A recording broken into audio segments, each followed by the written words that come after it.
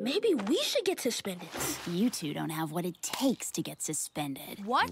We got suspended yesterday. Help! We're suspended in our rope ladder and not on purpose. Me too.